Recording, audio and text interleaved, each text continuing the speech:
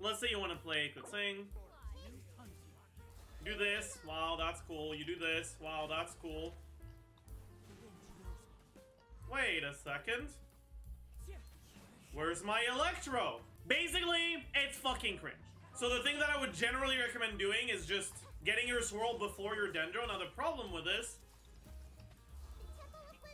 is that your VV's almost expired by now.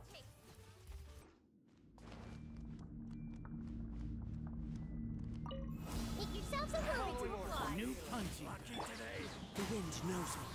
Fallen leaves adorn my. Oz, reveal my Eyes on me! Well, Into the wind. commit it to memory. As you wish, Mainfront.